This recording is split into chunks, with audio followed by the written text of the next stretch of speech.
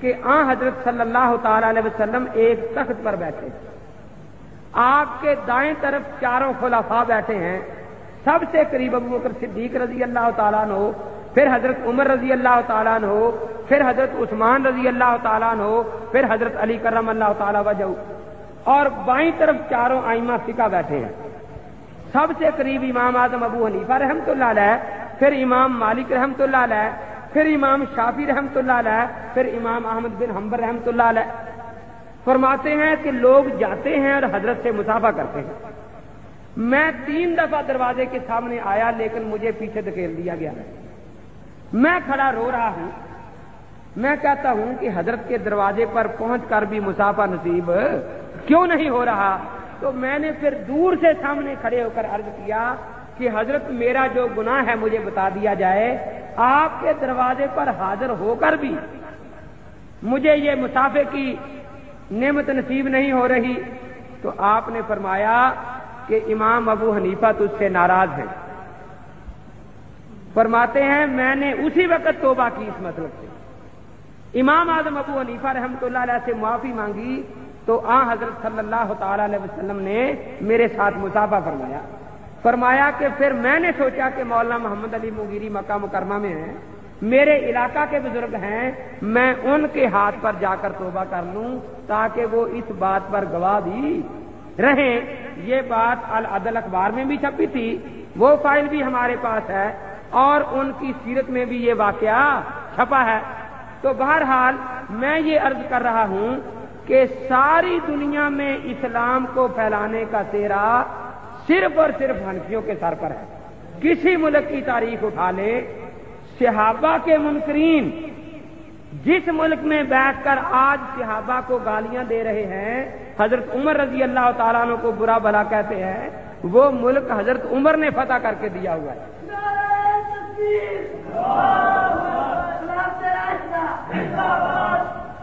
تو اسی طرح کوئی منکر صحابہ یہ نہیں کہہ سکتا کہ دنیا کے فلاں ملک کی ایک تحصیل میں ہم نے اسلام پھیلایا اسی طرح کوئی منکر حدیث یہ نہیں کہہ سکتا کہ فلاں ملک کے فلاں علاقے میں اسلام پھیلانے کا چہرہ کسی منکر حدیث کے سر پر ہے۔ اسی طرح کوئی فقہ کا منکر یہ نہیں کہہ سکتا کہ دنیا کے فلاں علاقے کے صرف ایک تھانے میں اسلام پھیلانے کا تیرا کسی منکر فقہ کے سر پر ہے۔ تو اللہ تبارک و تعالی نے یہ عظیم الشان پیش گوئی جو ہے کہ یہ دین ساری دنیا میں پھیلے گا۔ یہ ہنفیوں کے ہاتھ پر پوری کرائی۔ جتنے مجاہدین ان علاقوں میں فاتح بن کر آئے، وہ سارے ہنفی تھے۔ جتنے بادشاہ اس علاقے میں پہنچے، وہ سارے ہنفی تھے۔ جتنے اولیاء اللہ ان علاقوں میں آئے، وہ سارے جتنے محدثین یہاں پہنچے وہ سارے کے سارے حضرت علی متقی صاحب کند العمال آپ کے ہندوستان کے ہیں، جنہوں نے سب سے بڑی حدیث کی کتاب کند العمال مرتب فرمائی ہے، وہ آپ کے علاقے کے حنفی بزرگ ہیں۔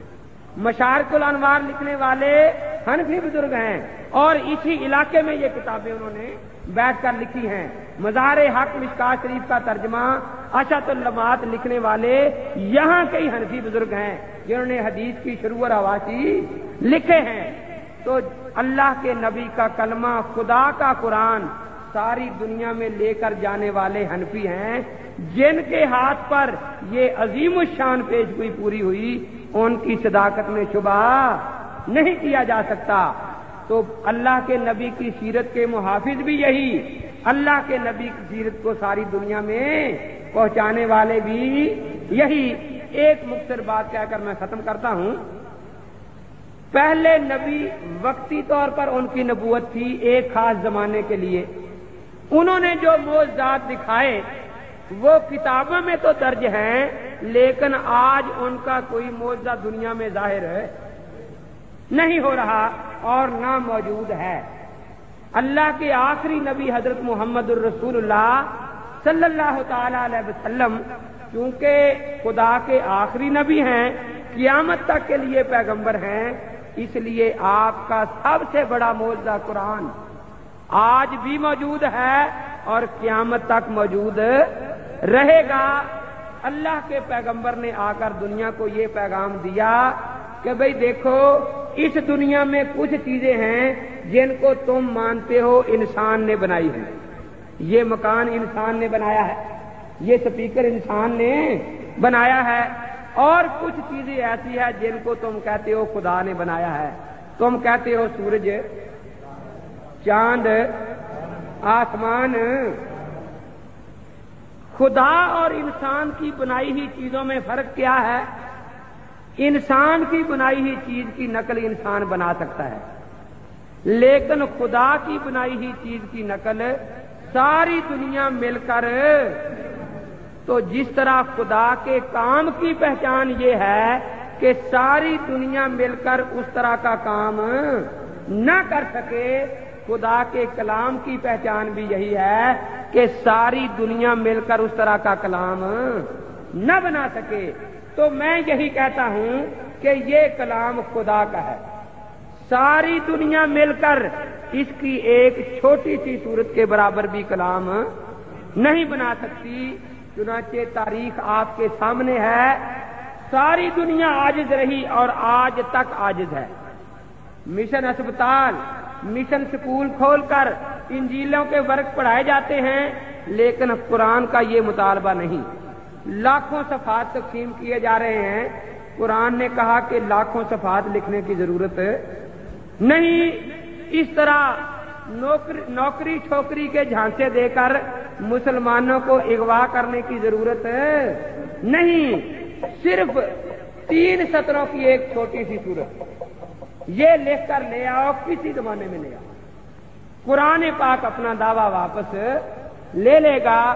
لیکن جس طرح وہ آجد سے آج بھی ساری دنیا آجد ہے، آپ کا موجودہ قیامت تک کے لیے زندہ ہے۔ اس طرح کچھ پیش گوئیاں آپ کی، آپ بھی وقتاً فوقتاً پوری ہوتی رہتی ہیں۔ میں نے جس زمانہ میں مشکا شریف پڑھی، اس میں یہ حدیث آئی کہ ایک زمانہ آئے گا کہ گانے سے کوئی بچ نہیں سکے گا۔ گانے والی عورت کی آواز سے۔ تو میں حیران تھا کہ خدا جانے بھی کیا بنے گا۔ ہر گھر میں آ کر ہر عورت گانے والی ہو جائے گی یا کم از کم ایک عورت گایا کرے گی۔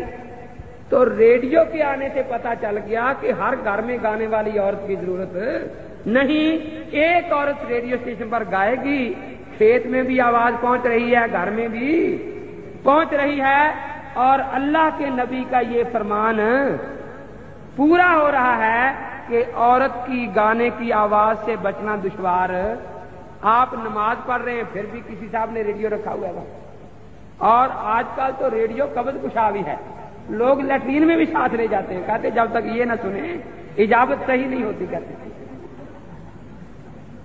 تو ایک مجھے کہنے لگا کہ جب تک میں ریڈیو اپنے گدے کے گردن میں نہ باندھوں، یہ چلتا نہیں ہے۔ ریڈیو پر لگا ہوا ہے۔ اب اندازہ لگائیں۔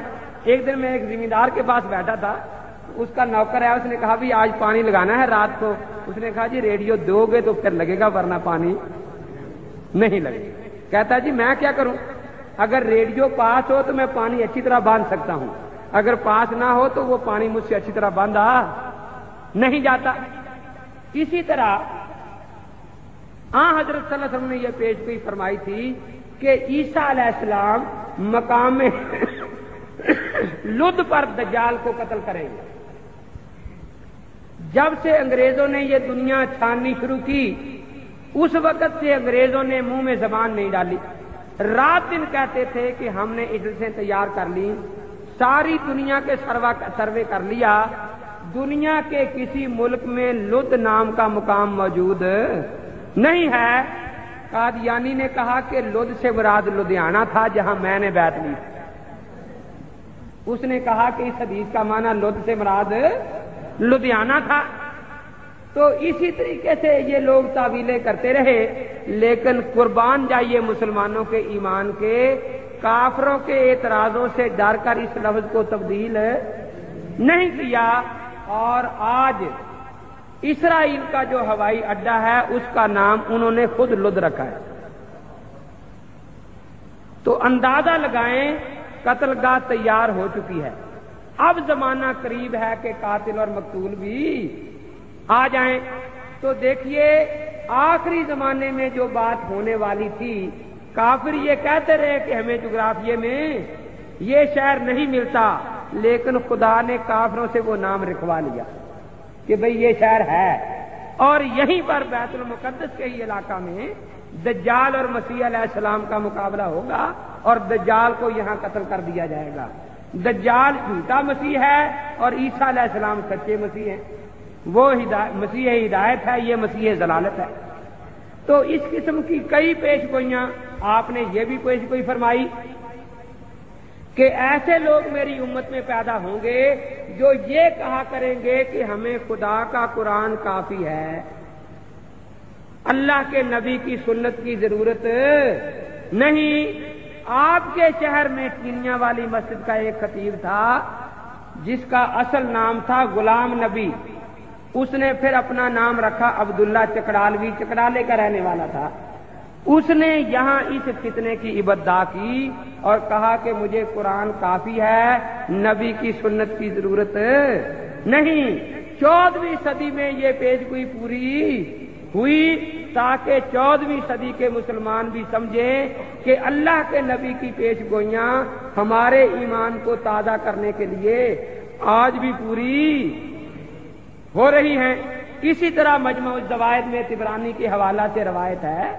ہاں حضرت صلی اللہ علیہ وسلم نے فرمایا کہ میری امت کے آخری زمانہ میں ایسے بیوقوف لوگ پیدا ہوں گے جو میری امت کے علماء اور فوکہ پر نکتہ چینیاں کیا کریں گے تو آپ کے سامنے وہ لوگ بھی موجود ہیں جن کو ایک سطر بھی صحیح اردو کی لکھنی نہیں آتی۔ لیکن کوئی کہتا ہے جی میں ہدایت کی غلطیاں نکال سکتا ہوں۔ کوئی کہتا ہے جی میں عالمگیری کی غلطیاں نکال سکتا ہوں۔ تو اللہ کے پاک پیغمبر کی یہ پیش گوئی بھی پوری ہو گئی۔ تو اللہ کے نبی کے موجات دنیا میں قیامت تک ظاہر ہوتے رہیں گے۔ تو میری اس مختص تقریر کا خلاصہ یہ ہے کہ میں نے اہل سنت والجماعت کا معنی آپ کے سامنے عرض کیا۔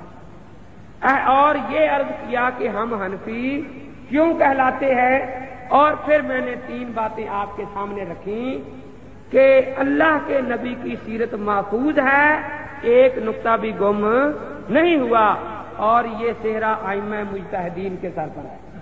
اور یہ چاروں اہل سنت والجماعت ہیں۔ اور دوسرا یہ کہ خدا کے نبی ساری دنیا کے لیے پیغمبر ہیں اور ساری دنیا میں اسلام کے پھیلانے کا سیرا حنفیوں کے سر پر ہے۔ ان کے ہاتھوں پر یہ عظیم الشان پیش گوئی؟ پوری ہوئی ہے۔ اور تیسرا یہ کہ ایسی پیش گوئیاں موجود ہیں جن سے آج بھی پتہ لگ سکتا ہے کہ کون حق پر ہے، کون باطل پر ہے۔ وہ آخر داوانا ان الحمد للہ رب العالمین۔ استغفر اللہ استغفر اللہ تعالی۔ اللهم صل على سيدنا مولانا محمد النبي الامي وعلى اله وصحبه وسلم ربنا ظلمنا انفسنا وان لم تغفر لنا وترحمنا لنكن من الخاسرين ربنا لا تؤاخذنا بسوء اعمالنا ولا تصدقنا اللهم استر عوراتنا Islamic voice, digital sound studio, Pakistan میں اسلامک ریکارڈنگ کے لیے منفرد ادارہ، تلاوت، حمد و نعت نظمیں اور تقاریر، ڈیجیٹل اسٹوڈیو میں اور دینی اجتماعات کی اسٹوڈیو کوالٹی میں ریکارڈنگ اور آڈیو کیسٹس کو سی ڈی میں کنورٹ کروانے کے لیے معیاری ادارہ، اسلامک وائس۔ رابطہ کے لیے پوسٹ باکس نمبر پندرہ سو تین نشات آباد فیصل آباد۔ فون نمبر صفر تین سو تینتیس چھ پانچ دو پانچ تین سات صفر۔